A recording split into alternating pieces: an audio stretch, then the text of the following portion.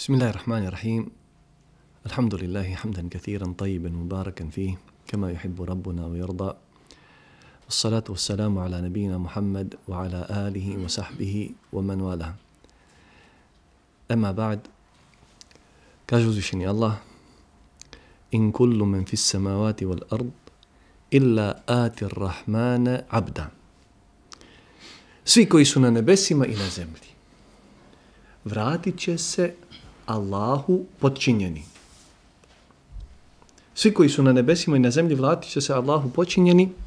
Lekad ahsahum wa addahum adda. On ih je sve obuhvatio, sve ih dobro zna i pobrojao ih je tačno po broju. Wa kulluhum atihi jeumel qiyameti farda.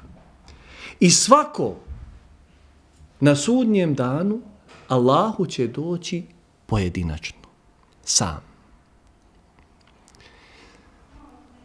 Kad čovjek čuje ove ajete,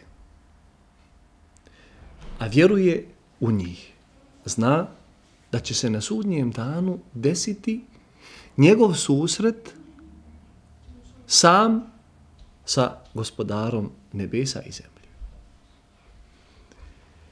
Imam Buharija i Muslim bilježe od Safvana ibn Mohriza da je on bio sa Abdullahom ibn Omerom jedne prilike. I jedan čovjek prilazi Abdullahu ibn Omeru i kaže mu, reci mi, šta si čuo da Allahu poslanik sallallahu alihi wasallam priča o razgovoru između čovjeka i Allaha. Šta si čuo? Kaže mu Abdullah ibn Omer, čuo sam Allahovog poslanika sallallahu alaihi wa sallam kako kaže Allah će na sudnjem danu približiti sebi roba. Pa će oko njega staviti pregradu da drugi ne vidi. Pa će ga pitati da potvrdi svoje grijehe, ono što je radio. Reći će mu, robe moj, jesi li ti uradio taj taj grijeh?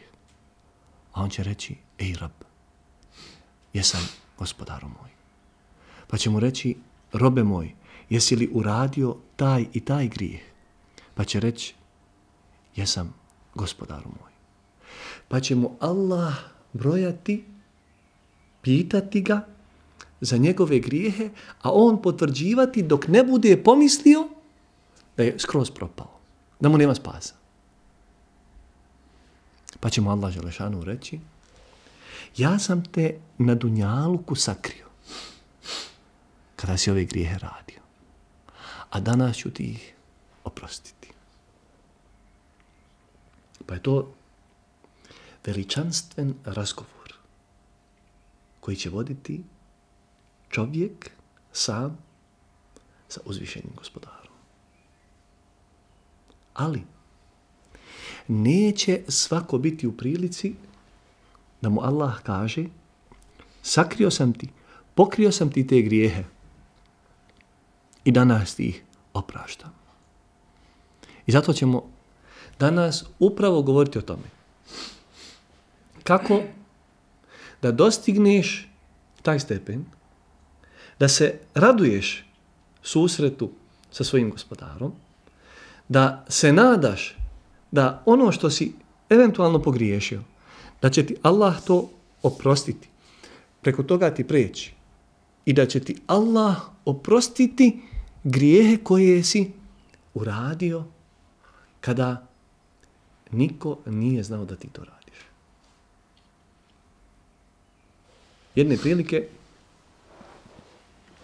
Omer radijallahu anhu uhvati jednog čovjeka kako pije. Pije. Šta pije? Vodu. Pije alkohol. Vino. I Omer naredi da se na njim izvrši kazna. Kaže ovaj čovjek, ja sam samo jednom, kaže, upo ovaj grije. Samo jednom. Kaže, lažeš. Lažeš. Allah nikad neće osramotiti roba koji samo jednom uradi grije. Nego ti to stalno radiš, pa te Allah otkrio. Zato postoji razlika između onoga koji, a to se svakom od nas dešava, upadne u grijeh. Upadne u grijeh. Poklizne se i počini grijeh. Ali postoji razlika između onoga kome se to ponekad može desiti ili desi i onoga koji ustrajava u grijesima. Stalno to radi. Nikako da se zaustavi. Iz mjeseca u mjesec. Iz sedmice u sedmicu. Možda iz dana u dan. Iz godine u godinu. Stalno počini isti grije. Nikako da se riješi. Ne zna kako da se riješi.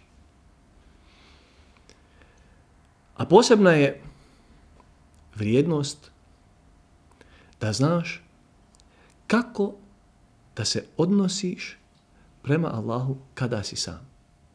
Sam. Nikoga nema pored tebe. Niko te ne vidi. Niko te ne čuje. Ti sam. Jer kada si sam,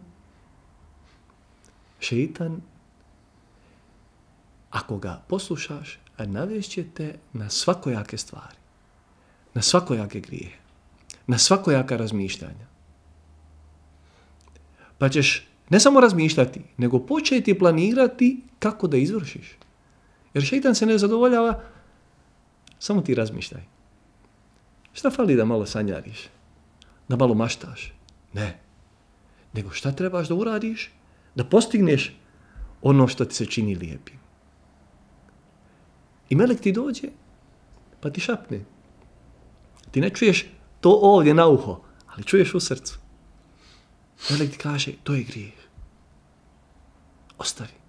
I ti ne poslušaš, nego nastaviš. Nastaviš to raditi. I onda uradiš. I osjetiš slast grijeha. I kad ga završiš, osjetiš gorčinu grijeha. I onda hoće čovjek iskreno da se pokaje uzvišenom Allahu. I zato danas ljudi kada nikada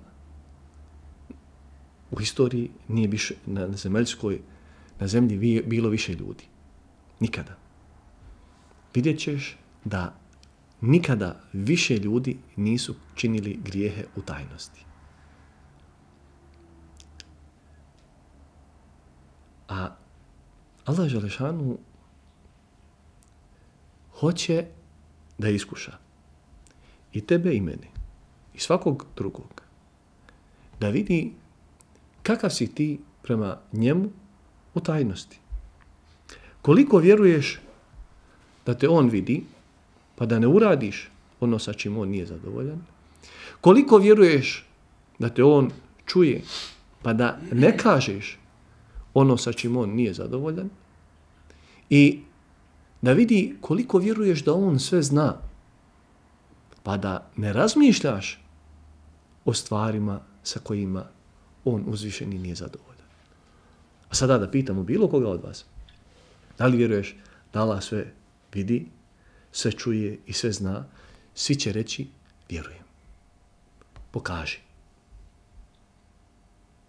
Pokaži. Ne meni. Pokaži uzvišenom Allahu. Pokaži njemu da to vjeruješ i koliko to vjeruješ.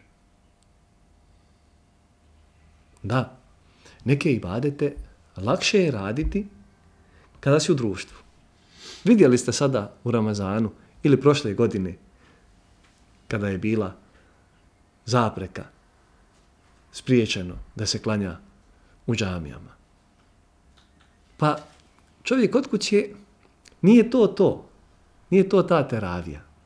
Klanja on onu teraviju sam sa svojim ukućanima, ali nije to to kao kad ti odješ u džamiju pa ono sa svima zajedno klanjaš.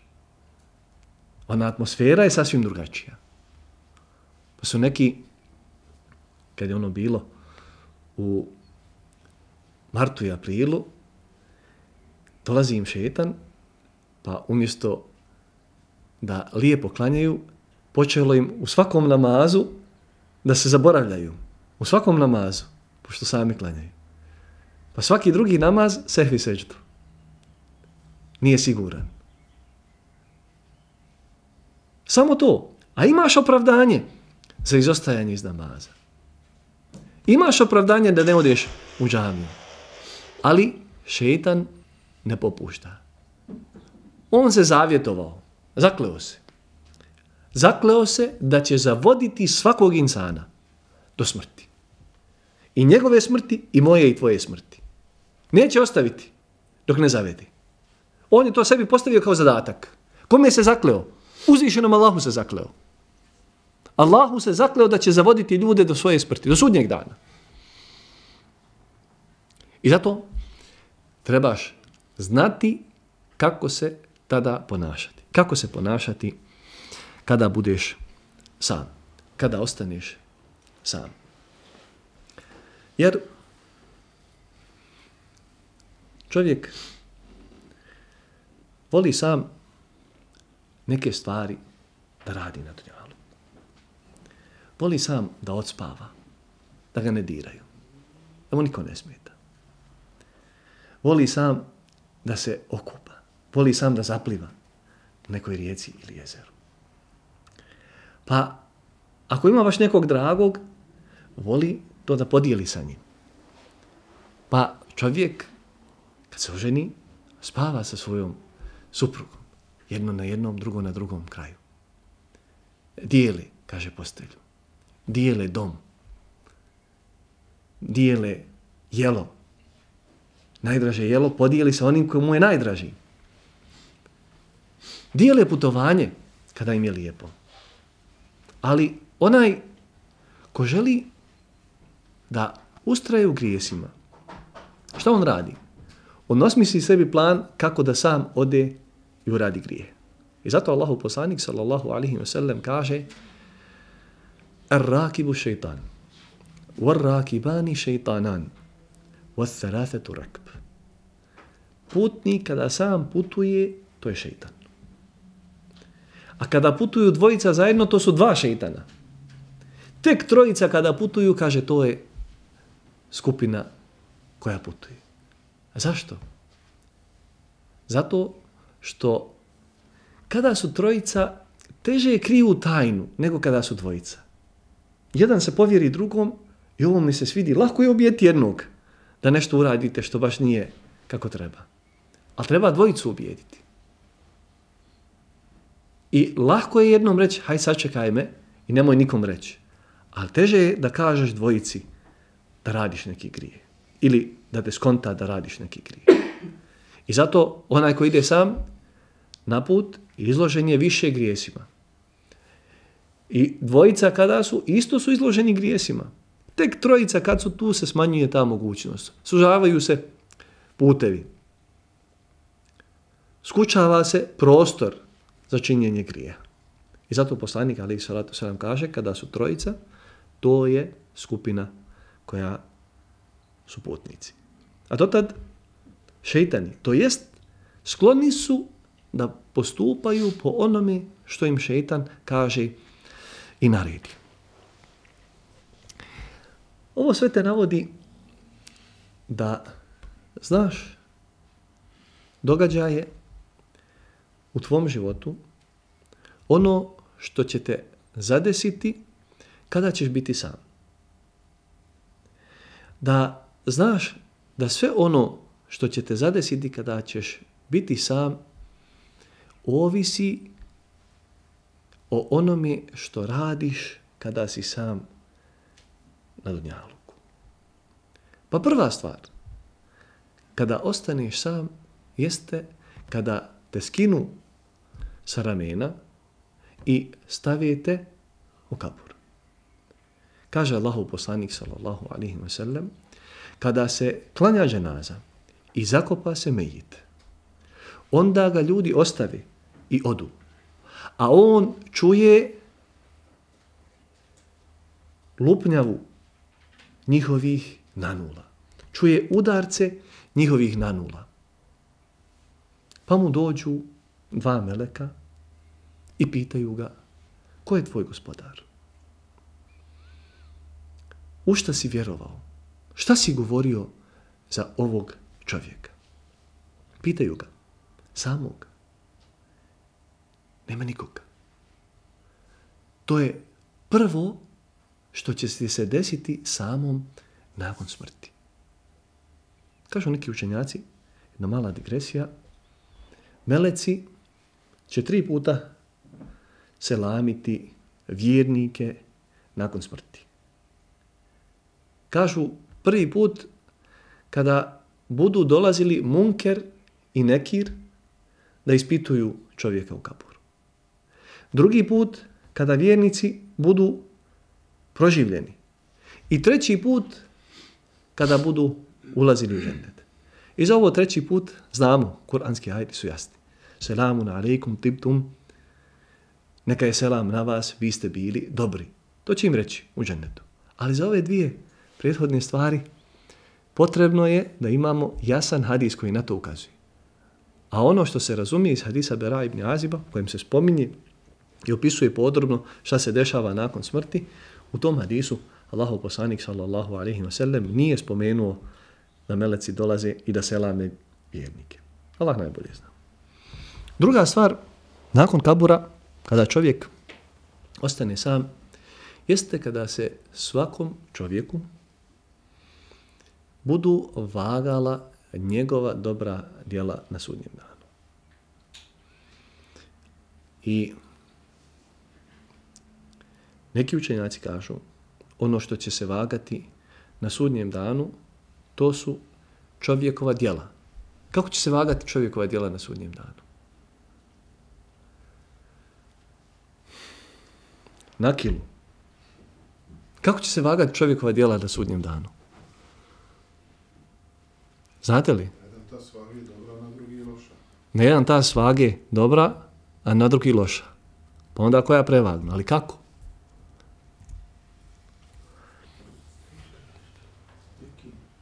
Molim? Ne razumijem pitanje kako. Mhm. Ne razumiješ pitanje. Dijelo kad uradiš, namaz, je li ima on svoju težinu, formu ili nema? Kako će se staviti na vagu? Po jekin, ubjeđenju. Po jekinu i objeđenju. Pa zato kažem, neće biti po kilama. Niti po zapremini. Nego po nekima Allah će dati oblik dijelima. Oblik, formu. Da ta forma se stavi na vagu. Drugi učenjaci kažu ne. Ono što će se vagati jesu knjige ili listovi na kojima su zapisana dobra djela. I onda jasno, što knjiga ima više dobrih dijela, to će biti teže. Jedna je sa dobrim dijelima teška, druga sa lošim dijelima lahka i onda će dobra dijela prevagnuti. Ili obratno. Ili obratno. Pa kažu, neće se vagati doslovno dijela, nego će se vagati listovi na kojim su zapisana dobra i loša djela. Knjige na kojima su zapisana dobra i loša djela. Treći kažu ne. Vagat će se sam čovjek. Svaki čovjek. Kao što je uzvišeni upisao u suri Kehf. I nećemo im, kaže, pridadati ili dati nikakvog vazna težine. Nikakve težine oni neće imati. Jedne prilike, Abdullah ibn Mes'ud radijallahu anhu popeo se na neko drvo ili palmu. I kako se popeo, oni kad su nosili izara, vi znate šta je izar, gledali ste hađije kad obuku i herame, imaju grtač, imaju onaj donji dio kojim se zagrnu, on se zove izar. Pa kad se Abdullah ibn Mes'ud popeo, oni su vidjeli kako on ima tanke noge. Ima tanke noge. I onda se neki ashabi nasmijali kako on ima tanke noge mršave i tanke noge. Kada su se nasmijali, u smislu da je to zvučalo kao ismijavanje. Allahu poslanik sallallahu alaihi ve sellem kaže jel se, ti, jel se vi to smijete njegovim nogama?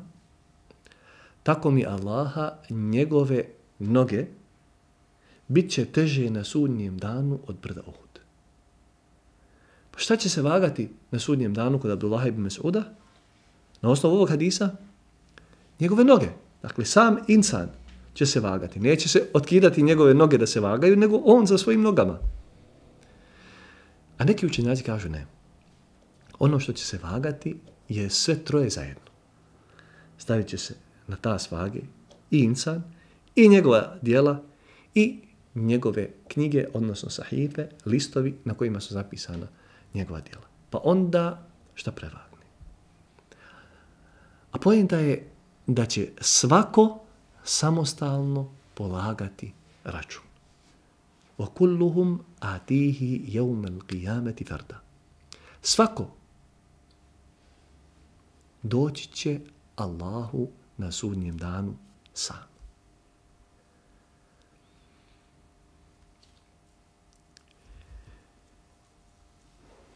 I bit će sam, kao što smo spomenuli u onom hadisu Abdullaha ibn Omera, na propitivanju.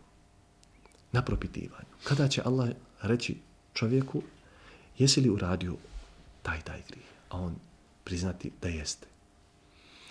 To su ukratko tri situacije. U kaburu, na vagi ili prilikom vaganja dobrih i loših dijela i prilikom ispitivanja na sudnjem danu kada će čovjek ostati sam. Da bi čovjek što ljepše i bolje prošao na sudnjem danu u ovim situacijama, Kur'an nas upućuje, Allah kroz Kur'an nam objašnjava šta je to potrebno da uradimo da bismo sebi olakšali te trenutke. Šta je potrebno? Da ljepše i bolje prođemo u kaburu. Šta je potrebno da lakše polažemo račun kod Allaha Želešanu na sudnjem danu i šta je potrebno da naša dijela na vagi budu teža, vrijednija i da prevagnuju ili prevagnu ona loša, loša dijela.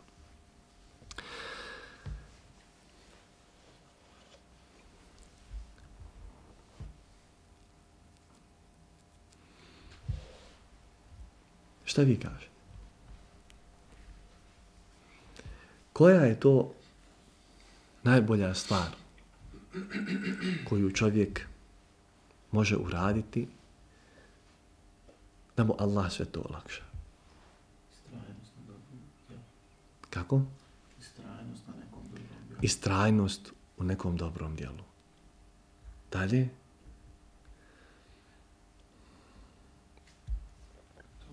Ili ono što ste na početku Teuba. rekli, ovaj, svjesnost da Allah sve vidi, sve čuje, Svjesnost sve zna. da Allah sve vidi, sve čuje i sve zna. Kaže uzvišeni Allah, ili prije ovog ajeta, spomenut ćemo jedan hadis. U tom hadisu, kojeg bilježi Imam Ahmed, stoji da je Amar ibn Jasir, radijallahu anhuma, jedne prilike ušao u džamiju. Kada je bio u džamiji, posmatrali su ga ljudi koji su bili tu. Kao evo ga, ashab Allahov poslanika, ali i salatu sram. Da vidimo kako on klanja, da vidimo šta on radi. I Amar radijallahu anhu klanjao je i prilično kratko klanjao. I on se začudili. Ashab ovako kratko da klanja. Nije brzo, nego kratko. Pa mu jedan prilazi da ga pita što je tako kratko klanjao. Očekivali su, pošto je ashab, da on to brže uradi. Pa mu priđe. Kaže mama Ibn Jasir, jesi li ti vidio da sam ja izostavio nešto iz svog namaza? Kaže, ne. Kaže, uradio sam tako da u namazu sa svojim mislima ne bi odlutao. Da mi šeita ne dođe pa da počnem razmišljati o nečemu što nije vezano za namaz. Kaže, jer čuo sam Allahovog poslanika sallallahu alaihi wa sallam da kaže Neko od vas obavi namaz, pa se okrene i ode, a od namaza nema ništa osim desetine ili devetine ili osmine ili sedmine ili šestine ili petine ili četvrtine ili trećine ili polovine namaza. Kaže Amar ibn Jasir, kaže, a ja sam proučio u namazu i sljedeću dovu koju sam čuo od Allahovog poslanika sallallahu alaihi wa sallam. Allahumme bi ilmike l-gajbi wa kudretike ala l'halq, ahyini ma alimta l-hayata khayran li wa tawaffani idha alimta l-wafata li. O Allahu, ti koji znaš nevidljivo i koji sve možeš, bi kudretike ala l'halq, molim te tvojom moći nad tvojim stvorenjima. Allahumma inni es'aluke bi kudretike ala l'halq, da me proživiš dok god je život za mene dobar, bolji, i da me usmrtiš onda kada smrt bude za mene bolja. Allahumma wa inni es'aluke hašjeteke fil gajbi wa šahade. I molim te, gospodaru moj, da se tebe bojim u tajnosti i u javnosti. Wa es'aluke kelimete al haqqi fil gadabi wa fil rida. I molim te da istinu izgovaram kada sam ljut i kada sam zadovoljan i nisam ljut. Wa as'aluka al-qasd fi al-ghan fi al-faqr wa fi al-ghina. I molim te da budem umjeren kada udjeljujem, kada sam siromašan i kada imam imetka. Wa as'aluka na'iman la tanfadu. I molim te da mi daš blagodati koje neće nestati. Wa as'aluka qurrata a'in a'yunin la. I molim te da me podariš, da mi podariš radosti koje neće prestati. Wa as'aluka ar-rida ba'da al-qada. I da budem zadovoljan nakon tvoje presude. Wa as'aluka barda al-'aysh ba'da al-maut. I molim te da mi daš smirenost života nakon smrti. Wa as'aluka laddat an-nazari ila wajhik. I molim te da me počastiš da uživam u gledanju tvoje lice wa shawqa ila liqa'ik i da mi daš da žudim da se sretnem sa tobom fi gajri darra'e mudillatin ولا فتنة مدلة اللهم اجعلنا هداة مهتدين. Gospodaru naš učini nas oni onima koji su upućeni i koji druge upućuju. Da nemamo štete i da nikome štetu ne nanosimo. Pa je Amar radijallahu anhu u ta dva kratka namaza proučio i ovu dovu, u kojoj je rekao između ostalog, o Allahu, molim te, podari mi da tebe se bojim u tajnosti i u javnosti. Jer znao je Ammar, jer je naučio od Allahovog poslanika sallallahu alaihi wa sallam i pročitao je u Allahovoj knjizi kada Allah kaže innal ladina yakhshawna rabbahum bil ghaib lahum maghfiratun wa ajrun azim. Oni koji se Allaha boje i kada ih niko ne vidi, njima pripada oprost za njihove grijehe od Allaha i velika nagrada. Velika nagrada.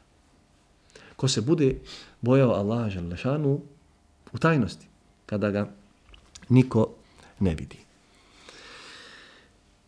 Ono što pomaže ili neka od dijela koja su odraz toga da čovjek u tajnosti samo radi Allaha uradi ono što je Allah zadovoljan, jeste da čovjek posti.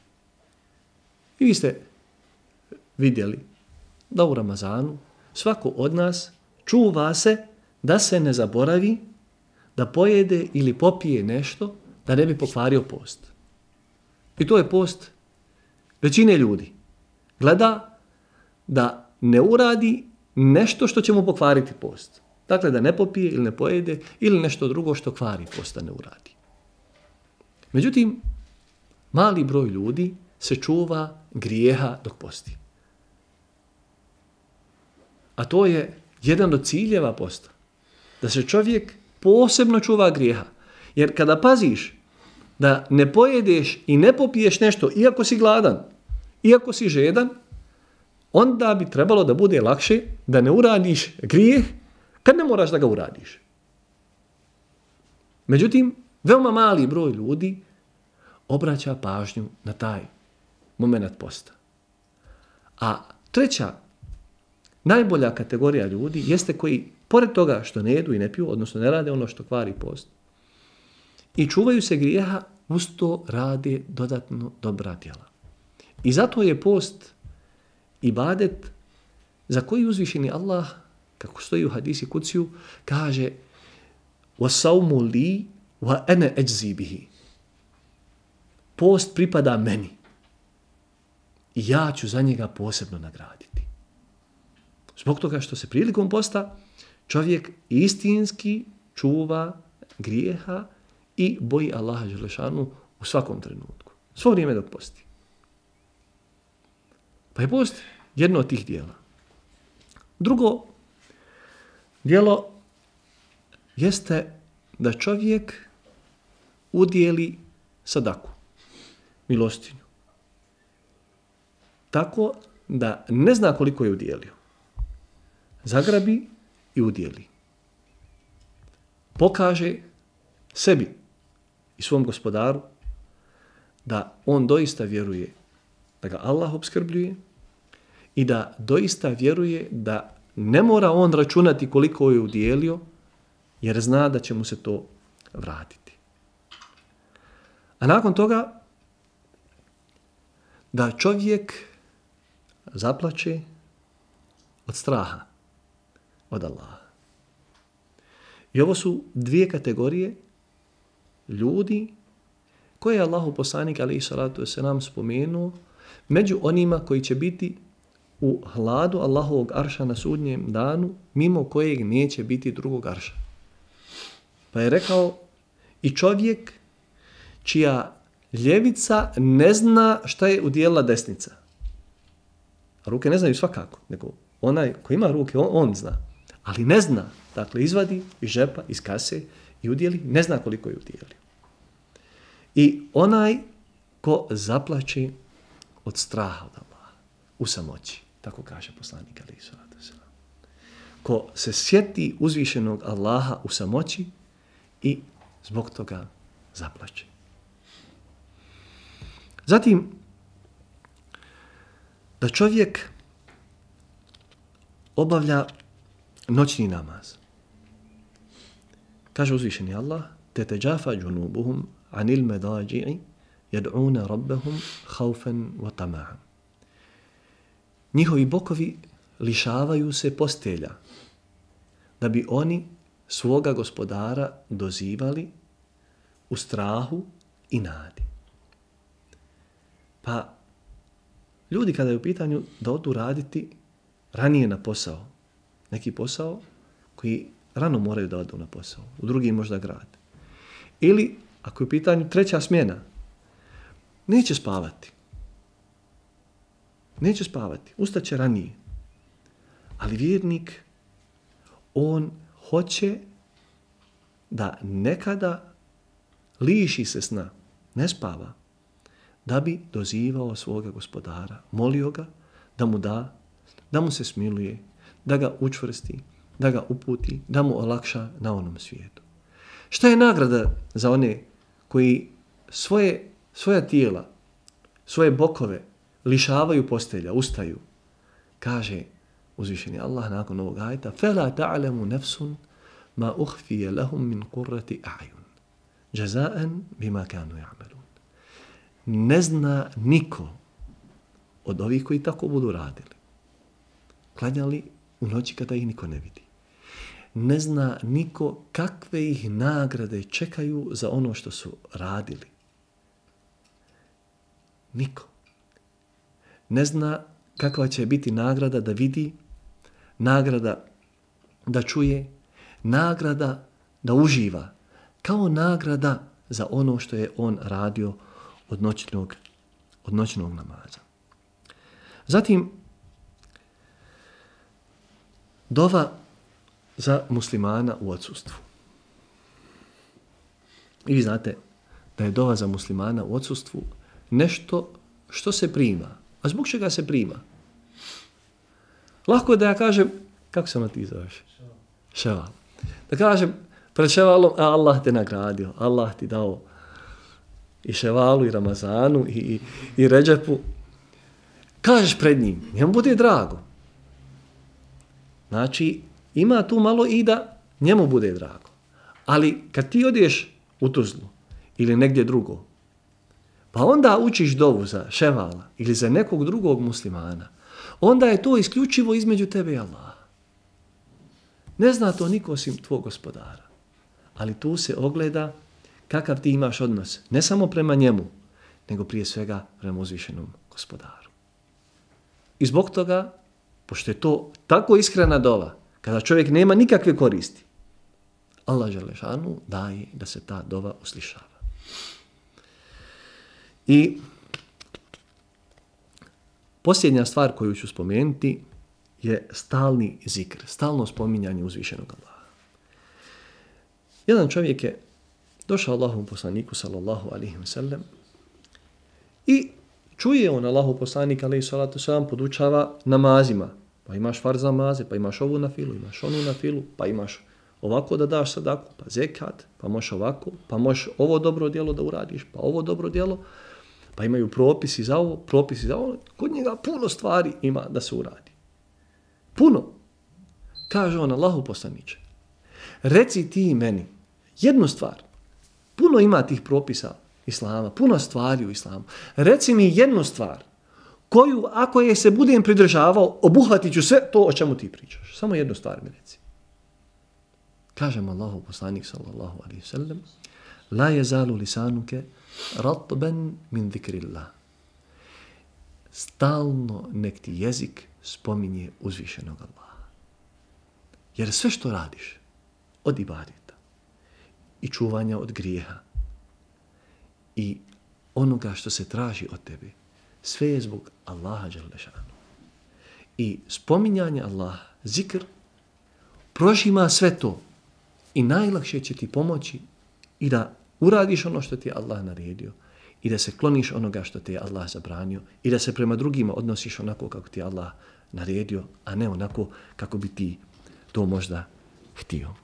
Tako da su ovo šest stvari koje su dijela koja čovjek može raditi u tajnosti, a koja ga pomažu da mu kada umre u kaburu, kada bude polagao račun sam i kada bude vagala se, kada se budu vagala njegova djela, da mu to bude lakše. To je da čovjek noćni namaz obavi, da posti, tajno sadaku da udijeli, da stalno spominje Allaha Želešanu, da zaplaće od straha od Allaha i da s vremena na vrijeme uči dovu za muslimana ili za muslimane u odsustvu.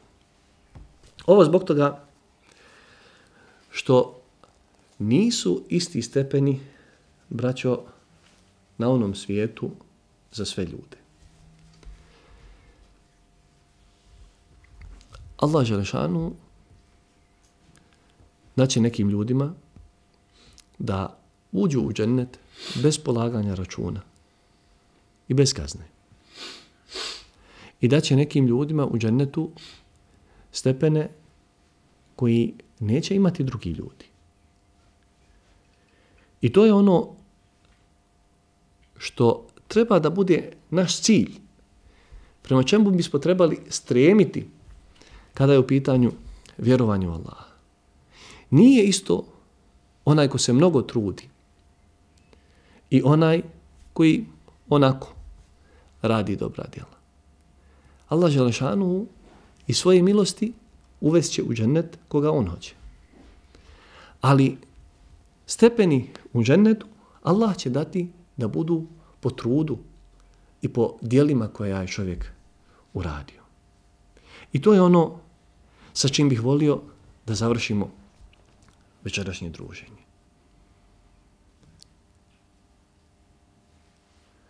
O ashabu ljemini, ma ashabu ljemini. Znaš li ti ko su sretnici? O ashabu šimal, ma ashabu šimal.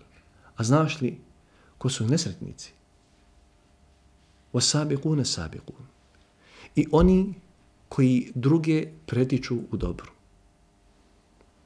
Za njih kaže uzvišeni Allah, Thulletum min الْأَوَّلِينَ قَلِيلٌ مِنَ min al-akhirin.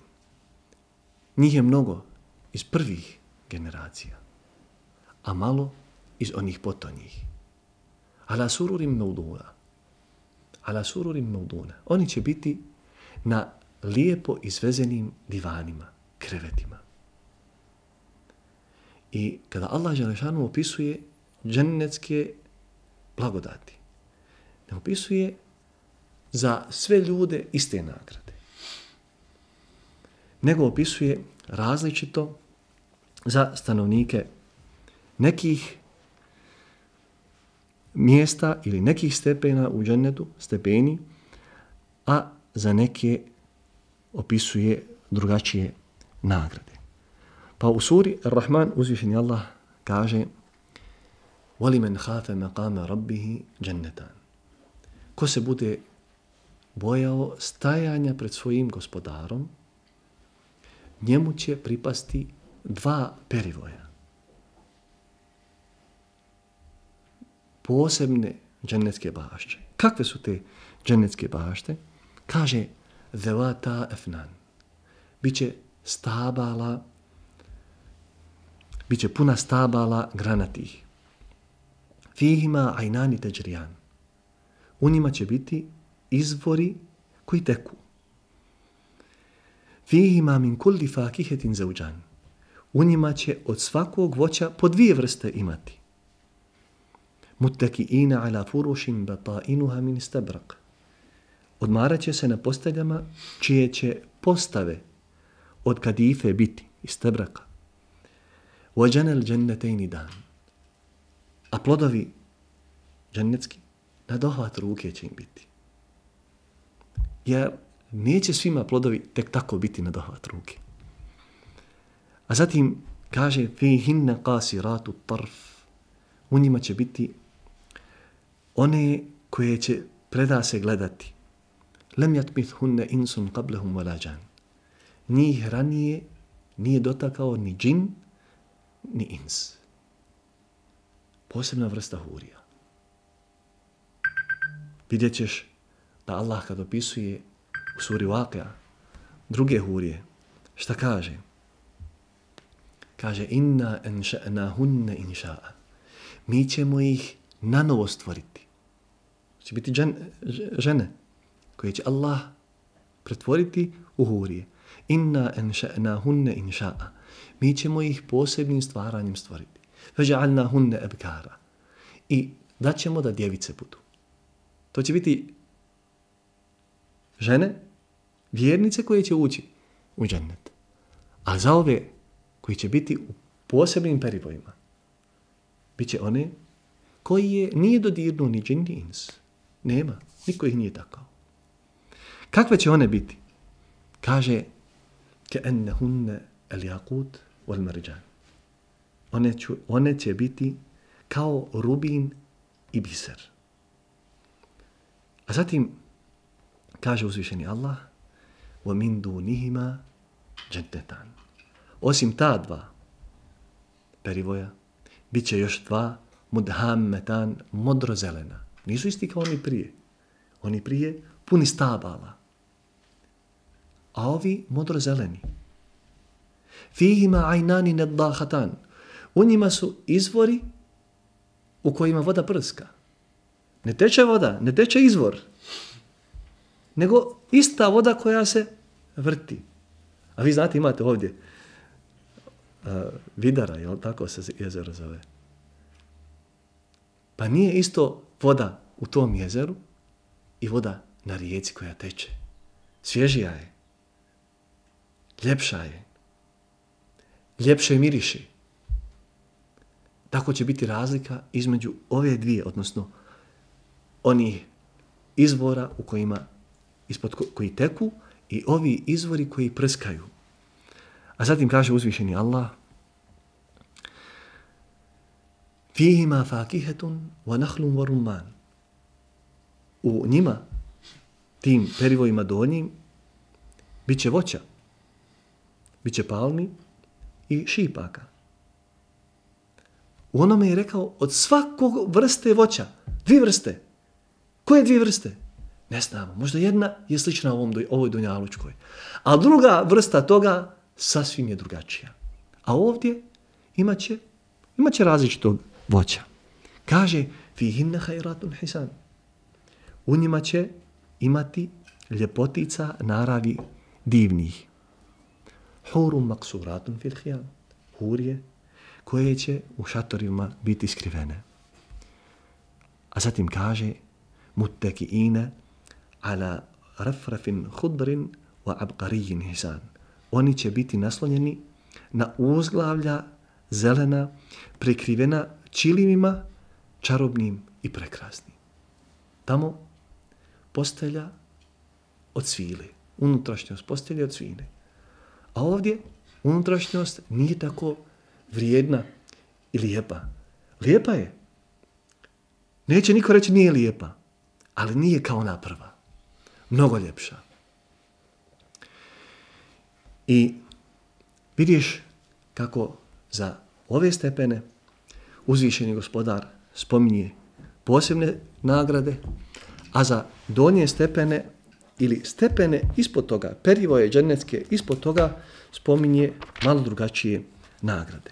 Za ove prve, koji će biti u najljepšim nagradama, kaže uzvišeni Allah, nakon što je spomenuo da će ih biti mnogo od prvih naroda, a malo od kasnijih, kaže ala sururim meudune, na divanima izvezenim, muttakiina alejha mutekabilin, jedni prema drugima bit će na tim divanima naslonjeni. Jatufu alejhim vildanun muhalladun. Služit će ih vječno mladi mladići, bi ekvabin wa ebariqa wa ka'sim min ma'in, sa čašama i bricima i peharom punim pića iz izvora teku, tekućeg, la yusaddauna anha wa la junzifun, od koga ih glava neće boljeti i zbog koga neće pamet izgubiti, wa fakihatin mimma yatakhayyarun i voćem koje će sami birati, wa lahmi tayri mimma yashtahun i mesom ptičijim kako budu željeli, wa hurun 'ain u njima će biti i hurije očiju krupnih ka emthali lu'lu il maknun slične biseru u školjkama skrivenom jazaem bima kanu ya'malun kao nagrada za ono što su činili la yasma'una fiha lagwan wala ta'thima u njima neće slušati prazne besjede ni govor griješni illa qilan salamen salama nego će slušati samo riječi mir, mir. A oni sretni, ko su oni sretni? Stepen ispod toga kaže fi sidri mahdud. Bit će među lotosovim drvećem bez bodlji. U talhim mendud i među bananama, plodovima nanizanim, u adillim memdud i hladovini prostranoj, u ama im meskub i usred vode tekuće. U fakihetim kathira, gdje će imati svakojakog voća, la maktu'atin wala mamnu'a, kojeg će uvijek biti i koje neće biti zabranjeno. Wa furushin marfu'a, biće na posteljama podignutim. Inna anša'nahunna inša'a, faja'alnahunna abkara, uruban ataraba, li ashabi l-jemin, thulletum min al-awwalin, wa thulletum min al-akhirin, stvaranjem novim mi ćemo hurije stvoriti i djevicama ih učiniti milim muževima njihovim i godina istih za one sretne. Bit će ih mnogo od naroda drevnih a mnogo i od kasnijih.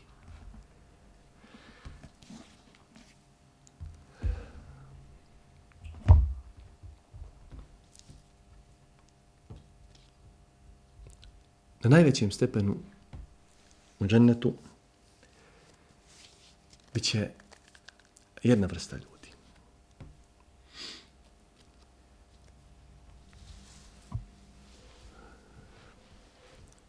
To su ljudi koji će preko sirat čuprije proći najbrže.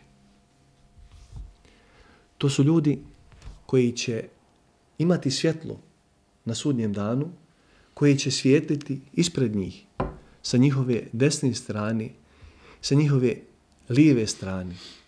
I drugi kada ih vide iz daljine, poželjeće da budu u njihovoj blizini. To su ljudi koje će Allah posaditi, dati im da budu na mimberima, stubovima od svjetlosti. To su ljudi s kojima je Allah posebno zadovoljan i kojima će dati velike stepene u Firdausu. A šta to treba da se uradi da se postignu ti veliki stepeni? Kaže Hafiz ibn Rajab, rahmetullahi ali. Onaj ko se bude Allaha bojao, odnosno onaj ko bude Allaha obožavao stalno, kao da ga vidi.